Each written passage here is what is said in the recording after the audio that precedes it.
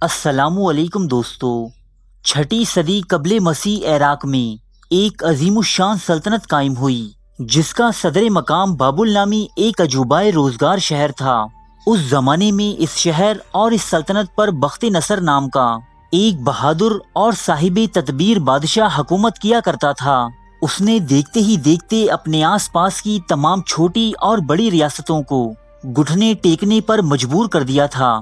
یہاں تک کہ فرعون مصر بھی اس کے سامنے دم مارنے کی جرت تک نہ کر سکتا تھا، مگر یہ بادشاہ سخت ظالم و جابر تھا۔ یہ ملکوں کو نہ صرف فتح کرتا بلکہ مفتوحہ علاقوں میں آگ لگا دیتا، متمدن اور بے نظیر شہروں کو برباد کر دیتا اور تمام لوگوں کو گرفتار کر کے اپنے دارالحکومت بابل لے جاتا۔ اس کے ظلم و تشدد اور جبر و استبداد کی داستانوں سے تاریخ کی کتابیں بھری پڑی ہیں۔ توریت میں شامل کئی صحائف انبیاء میں بھی۔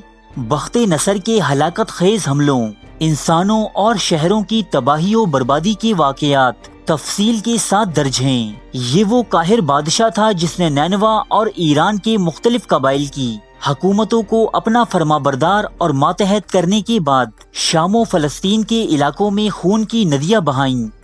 وہ کہرے الہی کی شکل میں فلسطین و شام کے شہروں اور آبادیوں کو ویران اور مسمار کرتا ہوا، بیت المقدس یعنی یروشلم کے دروازی پر آن کھڑا ہوا۔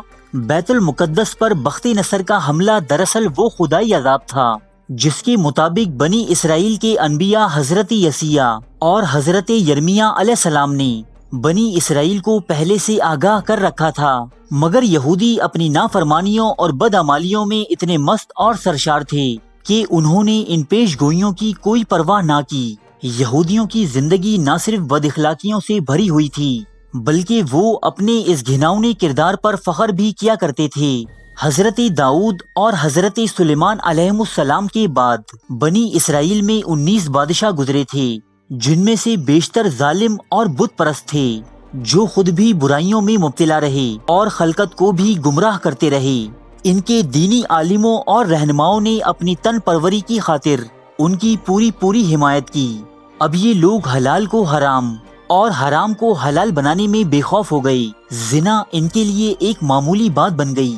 انہوں نے نہ صرف کتاب الہی کو پسے پش ڈال دیا، بلکہ اللہ پاک کے بھیجے ہوئے وہ پیغمبر جو انہیں بھلائی کی دعوت دیتے انہیں بھی قتل کرنا شروع کر دیا۔ تب بابل کا بادشاہ بخت نصر ان پر ایک آفت بن کر نازل ہوا اور وہ تباہی مچائی کے علمان اس کے لشکروں نے نہ صرف یہودی مردوں کو تہ تیخ کیا، بلکہ بچوں، عورتوں اور بوڑھوں کو بھی تلوار کے گھاٹ اتار دیا۔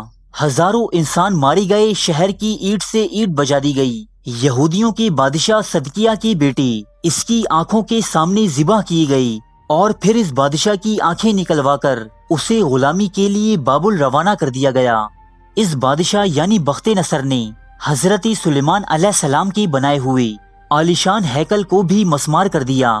اس کے ستون اور دیگر قیمتی سازو سامان کے ٹکڑے کر کے بابل شہر روانہ کر دیے گئے۔ تابوت سکینہ بھی اسی دور سے غائب ہے۔ اللہ کی بھیجی ہوئی مقدس کتاب یعنی توریت کے تمام کے تمام نسخے جلا دیے گئے۔ شہر کی اینٹ سے اینٹ بجا دینے کی بات بخت نصر تمام یہودیوں کو انتہائی ظالمانہ طریقے سے ہکا کر اپنے شہر بابل لے آیا اور انہیں غلامی کے توق پہنا دی گئی ان قیدیوں میں اللہ کے پیغمبر حضرت عزیر علیہ السلام، حضرت دانیال علیہ السلام اور کئی برگزیدہ بزرگ بھی تھے، جو اس زمانہ اسیری میں بنی اسرائیل کی رشد و ہدایت کا کام سر انجام دیتے رہے لیکن اس ظالم بادشاہ نے اللہ کے پیغمبروں کو بھی ظلم کا تختہ مشق بنائے رکھا۔ بخت نصر نے بابل میں سونے کی ایک مورتی بنوا رکھی تھی اور رعایا کو حکم دے رکھا تھا کہ ہر شخص اسے سجدہ کرے۔ جو سجدہ نہ کرتا، اسے آگ میں جھونک دیا جاتا۔ چنانچہ ایک خدا پر یقین رکھنے والے کئی افراد اس بادشاہ کے ہاتھوں شہید ہوئے۔ انسانی جان کی اس بادشاہ کے نزدیک کوئی اہمیت نہ تھی۔ جب حالت غضب میں ہوتا تو ملک کے تمام دانشوروں تک کا سر قلم کرنے کا حکم جاری کر دیتا۔ انبیاء علیہ السلام کی تزہی کو توہین کرتا۔ جب اس کی ظلم حد سے تجاوز کر گئی، تب یہ بادشاہ یعنی بخت نصر اللہ کے عذاب کا شکار بنا۔ بائبل میں شامل حضرت دانیال علیہ السلام کے صحیفے میں اس عذاب کی تفصیلات کچھ یوں ملتی ہیں کہ اس بادشاہ نے ایک مرتبہ ایک خواب دیکھا۔ جس کی تعبیر دریافت کرنے کے لیے اس نے حضرت دانیال علیہ السلام کو اپنے محل میں طلب کیا۔ حضرت دانیال علیہ السلام نے بخت نصر کا خواب سننے کے بعد اسے بتایا کہ انقریب تو انسانوں میں سے نکال دیا جائے گا، جنگلی جانوروں کی صحبت میں رہے گا، مویشیوں کی طرح گھاس چرے گا اور آسمان کی اوس میں بھیگے گا۔ یہاں تک کہ تجھ پر سات دور بیت جائیں گے، تب تو جان لے گا کہ حق تعالیٰ ہی اصل بادشاہ ہے۔ وہ جسے چاہتا ہے اسے دے دیتا ہے۔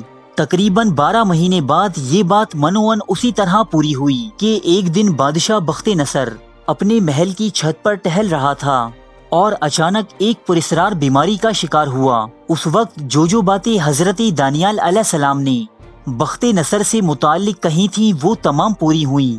وہ انسانوں میں سے نکالا گیا۔ اس نے مویشیوں کی مانند گھاس کھائی۔ اس کا جسم اوس سے گیلا ہوا یہاں تک کہ اس کے بال اوکاپ کی پرو کی مانند اور اس کے ناخون پرندوں کے پنجوں کی طرح بڑھ گئے اس کے مصاحبین اور رفقا نے اسے سلطنت کی ایک نامعلوم جگہ منتقل کر دیا اور اس کی جگہ بخت نصر کا بیٹا نظام حکومت چلانے لگا۔ اس عجیب و غریب اور پرسرار بیماری کے دوران بخت نصر نے سات سال گزار دیے۔ یہاں تک کہ اس بادشاہ کی عقل ٹھکانے آ گئی اور پھر یہ حضرت دانیال علیہ السلام اور بنی اسرائیل کے خدا کا احترام کرنے لگا۔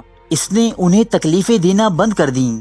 کتاب دانیال میں یہ باتیں بخت نصر کے حوالے سے بیان ہوئی ہیں۔ لیکن کمران کے غاروں سے ملنے والی تحریروں اور دیگر محققین کی رائے کے مطابق یہ واقعہ بادشاہ بخت نصر کے ساتھ نہیں، بلکہ اس کے بعد بننے والے بادشاہ۔ نبونیت کے ساتھ پیش آیا تھا، جو بنی اسرائیل کے عام لوگوں اور ان کے برگزیدہ بزرگوں پر بے پناہ ظلم و ستم کے نتیجے میں ایک پرسرار بیماری کا شکار ہوا اور اس نے جنگلی جانوروں کے ساتھ رہنا اور مویشیوں کی مانند گھاس کھانا شروع کر دیا تھا۔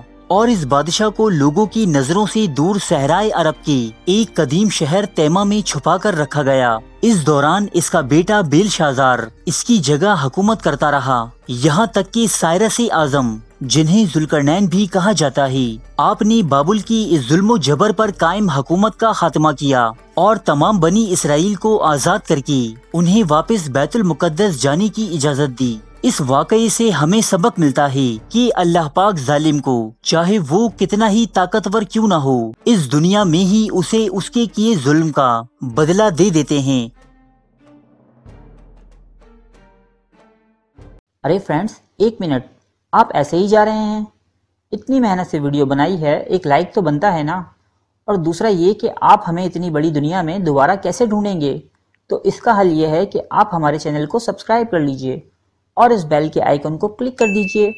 اس طرح ہمارے آنے والی تمام ویڈیوز آپ تک پہنچتی رہیں گی۔ ارے ارے، ڈریے مت، یہ بالکل فری ہے۔